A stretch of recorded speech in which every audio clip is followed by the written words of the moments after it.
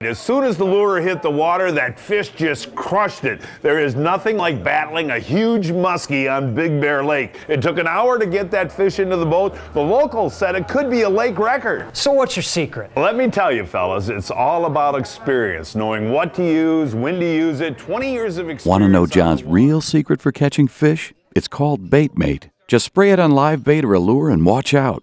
You're going to need a bigger boat.